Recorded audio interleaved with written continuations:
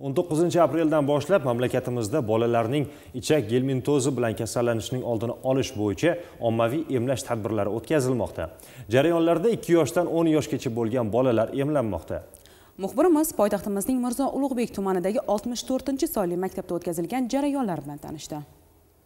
Bu ommaviy tadbir bolalar o'rtasidagi ichak kasalliklarini oldini olish maqsadida olib borilmoqda. Ko'ngil aynish holati bo'lishi mumkin lekin bu tabiiy holat boshqa hech qanday nojo'ya ta'sirlar kuzatilmaydi ma'lumot o'rnida aytish mumkin gelmintozlar inson organizmidagi parazit chuvalchanglar hisoblanadi. Bugungi kunda ularning 250 ga yaqin turi mavjud bo'lib shulardan 9 xili bolalarda uchraydi. Ularning xavfliligi esa ichakda tez rivojlanib ichki a'zolar tizimini shikastlashidir. Olib borilayotgan emlash jarayonlari ularning bu kasallikka chalinish holatlarini kamayishiga olib keladi. Shu o'rinda savol tug'iladi. Ushbu dori vositasini qabul qilish mumkin bo'lmagan holatlar ham mavjudmi bolalarga tavsiya etilmaydigan holatlar bu e, kuchli allergik holatlar bo'lishi mumkin.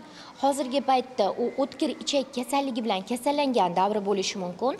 Hamda yaqin orada e, gepatit a kasalligini o'tkazgan e, bo'lishi mumkin. O'sha holatlarda bu dori tavsiya qilinmaydi. Mutaxassisning so'zlariga ko'ra bolada gelmintoz kasalligi bo'lsa unda qorin og'rig'i ishtaha yo'qolishi asabiylashish holatlari kuzatiladi. Agar bolada yuqoridagi belgilar kuzatilsa uni kechiktirmasdan mutaxassis ko'rigiga olib borish zarur. Shifokorlar gelmintozlarni tezda tashxislab tegishli davo choralarini ko'rsatishadi. Eslatib o'tamiz degelmintizatsiya jarayonlari 24 aprelga qadar davom etadi.